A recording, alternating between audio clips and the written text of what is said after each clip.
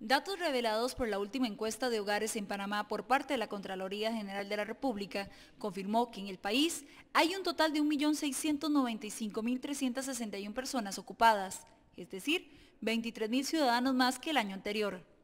Del total de empleados, el gobierno, la empresa privada, así como las organizaciones sin fines de lucro, reportan la mayor cantidad de trabajadores.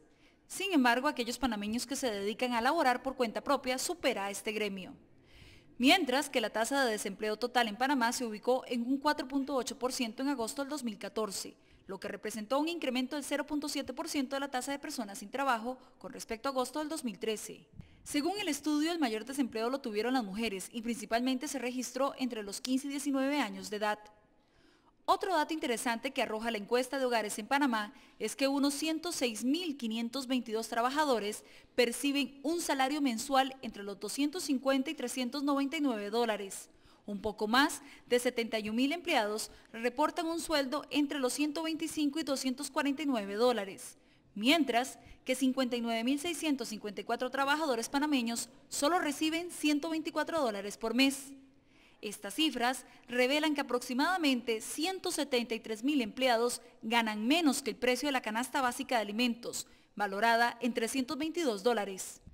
Al parecer, factores como la falta de acceso a una jornada completa de trabajo, como en el sector agropecuario, la construcción o el comercio, y actividades económicas limitadas, no le permiten a los empleados tener un salario digno que les permita adquirir por completo la canasta básica de alimentos. Para la Contraloría General de Panamá es alarmante el incremento de jóvenes que ni estudian ni trabajan, los conocidos ninis.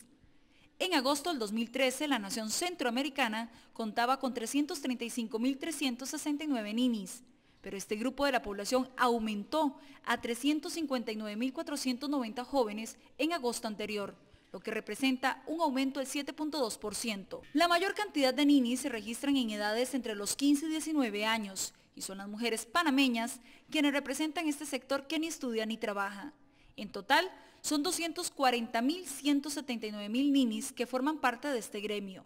En segundo lugar, se ubican los jóvenes que ni estudian ni trabajan con edades entre los 20 y 24 años, alcanzando una población de 75.234 personas.